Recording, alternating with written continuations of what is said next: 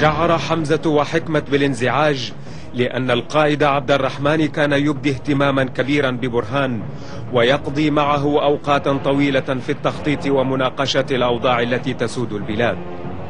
وعندما بلغ بهما هذا الانزعاج حدا كبيرا طلبا من عبد الرحمن ألا يعامل برهان معاملة خاصة لكن عبد الرحمن رفض ذلك.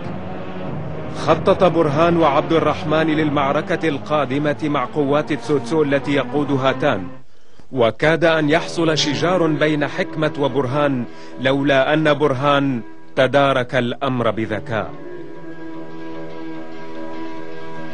نجحت خطة برهان وانهزم جيش تان واعترف حمزة وحكمة بأنهما كانا على خطأ.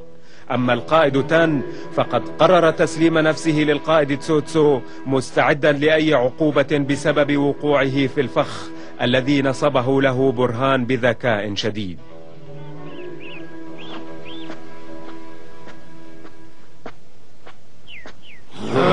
كيف حصل ذلك؟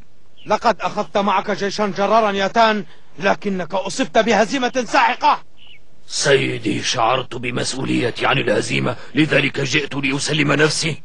أنا مستعد لأي عقوبة تفرضها. لن يفيدني ذلك. الأهم هو أسباب الهزيمة. آه، حصلت هذه الهزيمة بسبب خطة برهان. ماذا؟ بسبب خطة برهان؟ هذا كلام مرفوض من قائد شجاع خاض المعارك الكثيرة مذ كان شابا صغيرا. ألا تخجل؟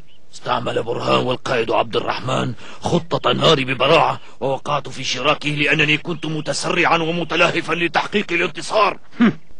قدرنا الهزيمة والانتصار. سامحتك. هيا يا تان. استعد لتمحو العار في المعركة القادمة. فكوا قيوده. أشكرك يا سيدي.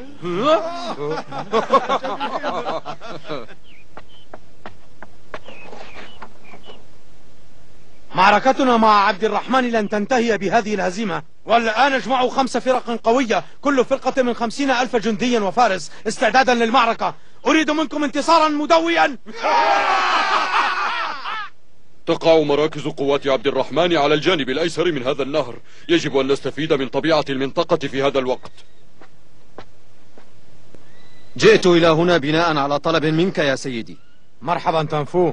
هل سمعت أن عبد الرحمن قد ربح المعركة نتيجة خطة برهان؟ سمعت بذلك. أمر سيء. كان كلامك عن ذكاء برهان صادقا. وهذا يعني أنه يجب ألا نستهين بقوة عبد الرحمن. سأقود الجيش بنفسي هذه المرة وأريد منك أن تذهب معي. حاضر. سأذهب معك طالما ترغب في ذلك. حسنا. حتى لو ذهبت معك يا تسوتسو فلن تستفيد من أفكاري أبدا. لن أقف ضد عبد الرحمن. أنا متشوق لمعرفة خطة برهان لقتال هذا الجيش الكبير.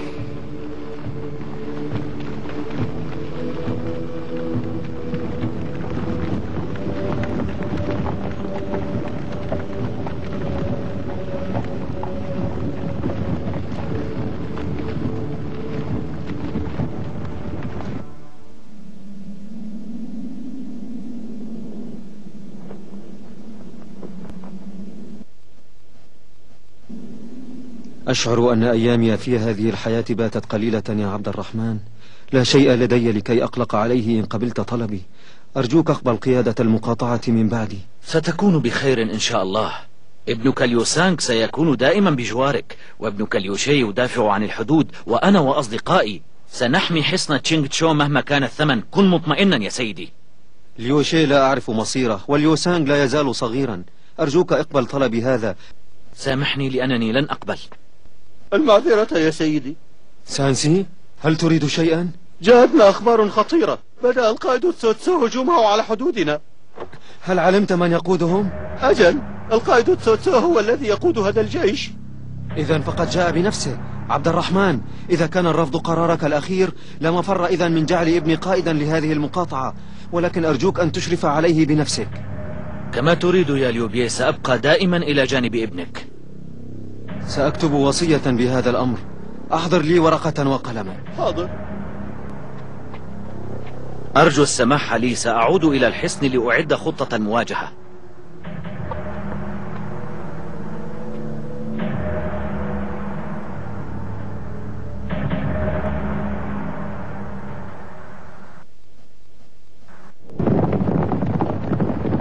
قوات تسوتسو كبيرة جدا هذه المرة. لا تقلق لذلك يا صديقي عبد الرحمن. لدينا أبطال أقوياء مثل حمزة وشيان. ولا تنسى أن رمحي هذا ينتظر القتال. كما أن المخطط برهان معنا وسيعد لنا خطة ذكية لا تخطر على بال. ولذلك يجب أن نخشى تسوتسو غيرت رأيك فيه كثيرا. أنا أيضا أصبحت أسبح مثل السمكة.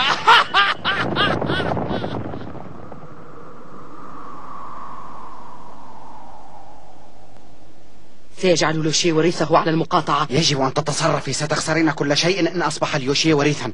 ماذا أفعل؟ اليوبيه يكتب الوصية الآن. وقد كلف عبد الرحمن بالإشراف على اليوشية حتى تستتب الأمور. يبدو أنه من الصعب أن يرث ابني. لا تدعي اليأس يسيطر عليك. لدي فكرة تنقذ الموقف. ها؟ سأستميل أمين سره سانسي وسأطلب منه تزوير الوصية. اخترق جيش تسوتسو حدود مقاطعة تشينغشو وأصبح على مقربة من حصن القائد عبد الرحمن. كان هجوم تسوتسو على الحصن على وشك البدء. في هذه الأثناء أقنعت سايماو أمين سر القائد اليوبيه بتزوير وصيته وهكذا سار سانسي القائد تسوتسو كمبعوث من قبل تسايماو بما أن القائد اليوبيه مات وخلفه ابنه ليوسانغ في حكم المقاطعة سأقبل عرضكم بالاستسلام لي دون أي شروط.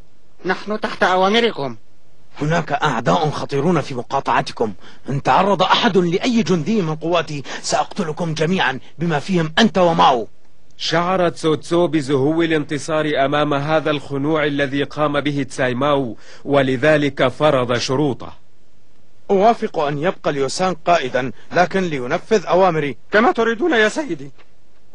وفرنا مشقة الهجوم على حصن تشينغشو ولذلك سنركز كل قواتنا باتجاه حصن عبد الرحمن. سوغان هاجم عبد الرحمن. حاضر سأنفذ هجومي على الحصن وسأجلب لك رأسي عبد الرحمن وبرهان. نعدك أن ننتصر في هذه المرة.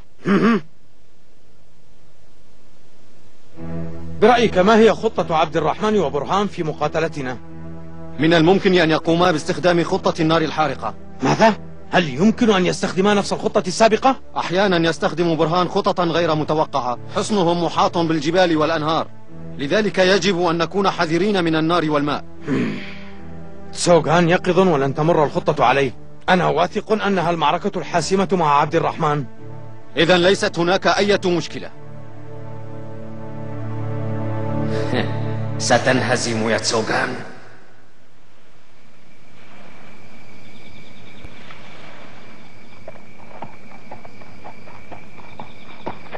قف مكانك. أين كنت في هذه الساعة المتأخرة؟ ألست أنت السيد سانسي؟ أجل هذا صحيح. يبدو أنك كنت ذاهبا في مهمة رسمية خارج الحصن يا سانسي. كنت عند تسوتسو أرسلني تسايماو. كنت تزور تسوتسو ونحن في حالة حرب؟ سألقي القبض عليك يا سانسي بتهمة الخيانة والتآمر. الرحمة توفي القائد اليوبيه منذ أيام وقد أخفوا عنا النبأ وزورت سايما وأخته هاندي وصية اليوبيه فعينوا ليوسانغ وريثا للمقاطعة وأعلنوا استسلامهم لتسوتسو. هذه جريمة كبيرة لن أسامحهم عليها أبدا. عبد الرحمن اسمح لي بمهاجمة حصن تشينغ تشو لإلقاء القبض عليهم. يجب أن نقتل تساي ماو قبل أن نتفرغ لمحاربة تسوتسو. أوافق حكمة بمهاجمة حصن تشينغ تشو لنستولي عليه قبل أن يصل إليه تسوتسو يا عبد الرحمن. أوصاني القائد اليوبيه بأولاده بعد وفاته فكيف سأهاجمهم وأقتلهم؟ لن أقبل أن أفعل هذا الشيء ولو اضطررت لترك المقاطعة إلى أي مكان. هذا هو رأيي. إذا استسلم حصن تشينغ تشو إلى تسوتسو فسوف يتفرغ كليا لمهاجمة حصننا بكامل قواته الكبيرة والموجودة هنا. إن قواتنا صغيرة لذلك لا نستطيع أن نصد هجوم قواته. هل لديك خطة مناسبة لهذا الموقف يا برهان؟ أجل. ذهب ضمائي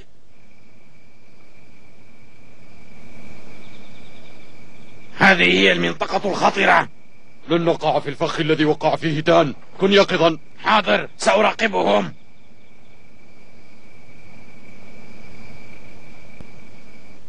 سمعت أن طلائع جيشهم تتألف من فرقتين يقودهما تسوغان وهم الآن على مشارف حصننا في المنطقة الخطرة. لا نستطيع أن ندافع بجيش صغير أقترح أن نهجر الحصن.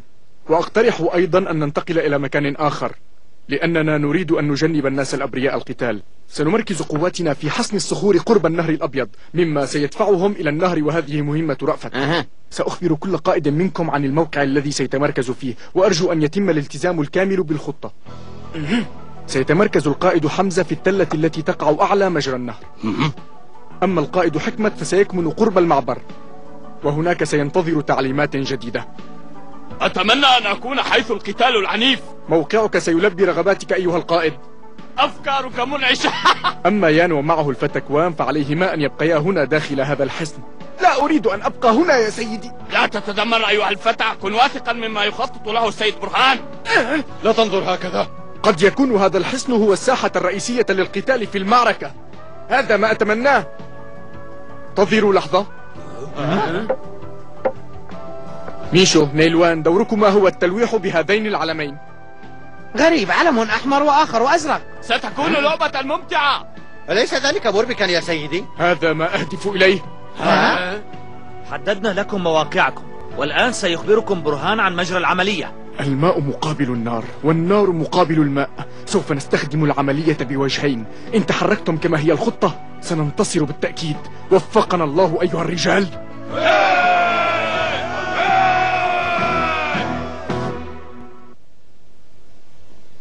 قضت خطة القائد عبد الرحمن وبرهان بناء سد في الأعلى عند مجرى النهر الأبيض.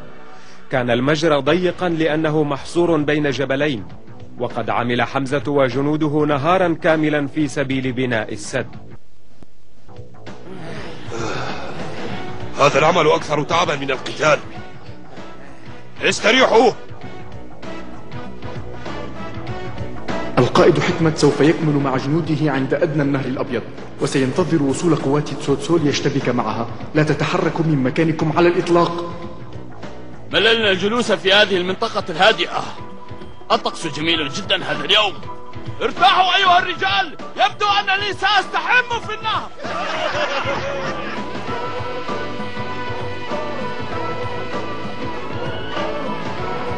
بعد أن يخرج الأهالي من الحصن صبوا الزيوت على سقوف المنازل وحول البوابات. واجمعوا الأمتعة المهملة التي تشتعل بسرعة. ولكن لا تضعوا شيئا عند البوابة الشرقية. والآن ابدأوا عملكم. شيء مضحك. يا لها من خطة غريبة. أخذ أكوان القدور والآلات الموسيقية. سيعزفون لنا موسيقى الانتصار على تسوتسو بعد انتهاء المعركة. تبدو واثقا. إنها ثقتي بك أيها القائد النبيل. بدأت طليعة قوات تسوتسو بالزحف إلى حصن القائد عبد الرحمن. كانت سوغان يقود طليعة الجيش ولذلك كان حذرا جدا من الوقوع في نفس المصيدة التي وقع فيها القائد تان من قبل. ولكن هل ينفع الحذر حين تكون الخطة مرسومة بشكل جيد؟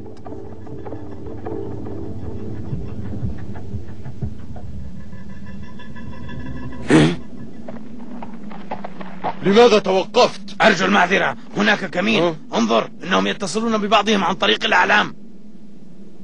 تظاهرا بأنكما تتصلان معا بواسطة التلويح في الأعلام الملونة. زوغان قائد يقف. فبعد أن يهاجم الكمين الخطر سيتقدم إلى داخل الحصن حسنا لابد أن يكون تلويح الأعلام إشارات بين عدة مجموعات متفرقة. سنقوم بمهاجمتهم الآن عكس ما يتوقعون. استعدوا للهجوم. حاضر. تقدموا!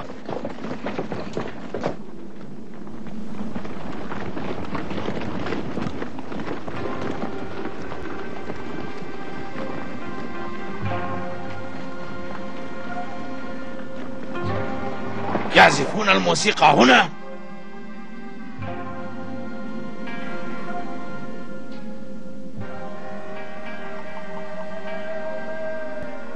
المجانين يهزؤون بنا؟ صعدوا إلى الأعلى والقوا بهم. سنحطم هؤلاء المجانين؟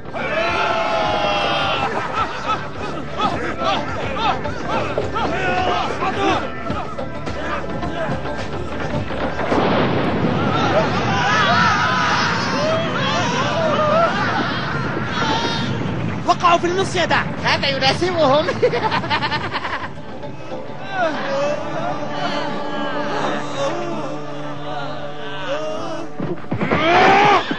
عبد الرحمن سأقطع راسك. اختفوا جميعا؟ سأدمر حصنكما حالا يا عبد الرحمن وبرهان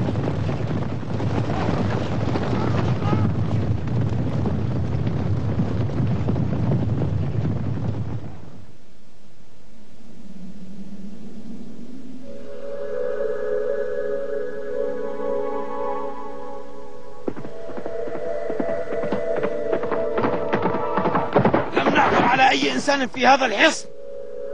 الجبناء هجروا الحصن وولوا هاربين. دعي الجنود يرتاحون اليوم. سنبدأ المطاردة غدا صباحا. حاضر. سيهاجمون الحصن حتما. وعندما لن يجدوا أحدا فيه سينامون في البيوت المهجورة. وقبيل الفجر ستقومون بمهاجمة الجنود قبل أن يستيقظوا. هذا الفجر يبزغ لقد حانت ساعة الهجوم ولا بد أن جنود السوتسو الآن غارقون في النوم.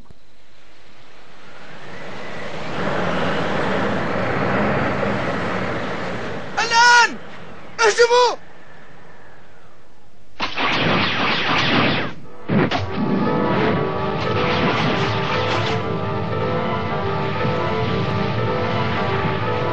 استيقظوا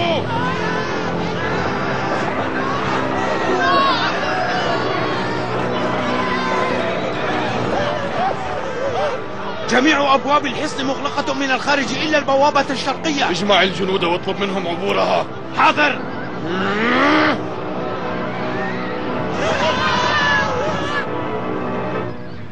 سيهربون من البوابة الشرقية لأنها ستكون الوحيدة السالكة. هاجموهم وادفعوا بهم إلى مجرى النهر الأبيض.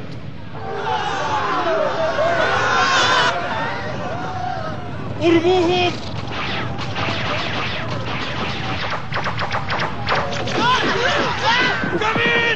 تماسكوا أيها الرجال. أعد تجميع الجيش يا هوشو. انسحبوا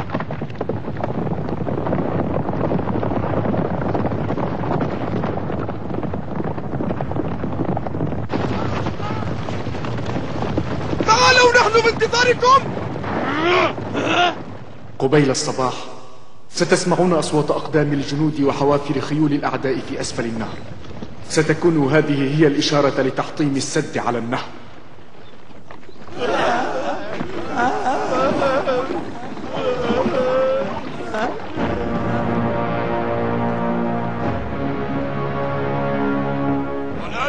المياه.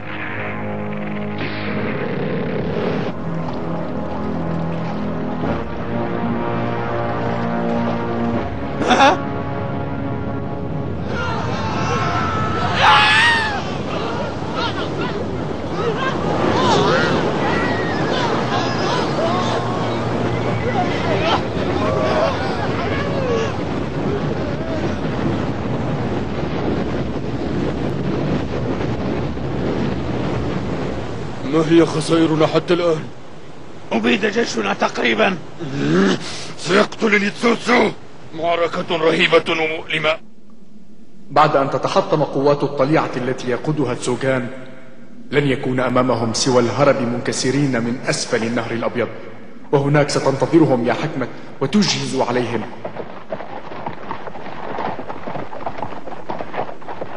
وصل توغان وجيشه حسب الخطة. سأصطاد حوتا. إنه حكمة يجب أن تهرب الآن يا سيدي. هيا. إنه يهرب منا. توغان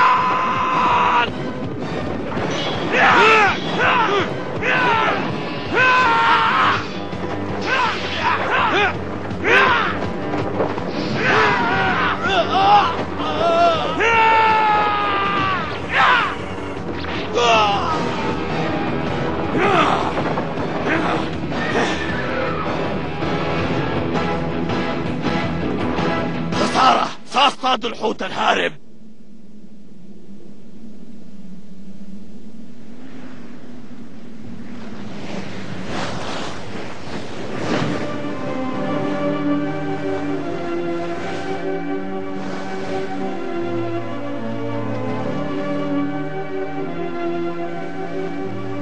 أبيدت طليعة قوات جيش تسوتسو بعد أن نفذ جميع القادة خطة برهان بشكل ناجح. سارت قوات القائد عبد الرحمن إلى حصن الصخور دون أن تخسر أي جندي. كان ذلك نصرا عظيما للطموحات النبيلة.